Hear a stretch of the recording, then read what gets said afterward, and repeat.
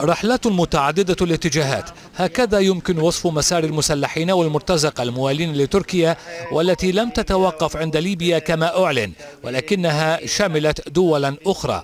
المرصد السوري لحقوق الإنسان بين أن الرحلة ما كانت إلا ذريعة للبعض للانتقال أو الهروب إلى إيطاليا إذ وصل منهم بالفعل 17 عنصرا. ووفقا لذويهم ومقربين منهم فإن الذين خرجوا عمدوا منذ البداية إلى اتخاذ هذا الطريق جسرا للعبور إلى إيطاليا. فما إن وصلوا إلى هناك حتى تخلوا عن أسلحتهم وتوجهوا إلى إيطاليا.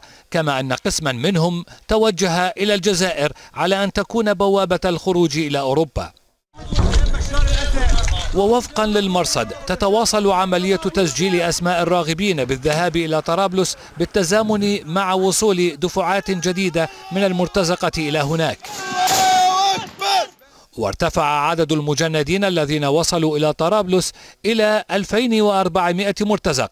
أما الذين وصلوا إلى المعسكرات التركية للتدريب بلغ نحو 1700 مجند.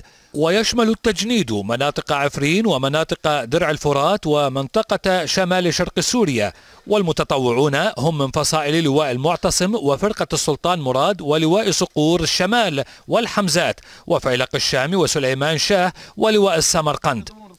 ويرجع مراقبون أسباب الرغبة في التجنيد إلى استغلال أنقرة الحاجة المادية والعوز لهؤلاء حيث يصل راتبهم في ليبيا إلى 2000 دولار. وفق شهادات لمتطوعين حصل عليها المرصد.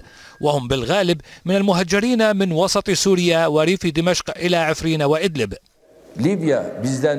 مراقبون يرون أيضا أن تعدد وجهات المسلحين يتزامن مع أحاديث متضاربة للرئيس التركي الذي أكد إرسال خبراء ومدربين لليبيا تارة ولوح بإرسال قوات تارة أخرى ثم أعلن الالتزام بنتائج مؤتمر برلين حول الأزمة الليبية مؤخرا.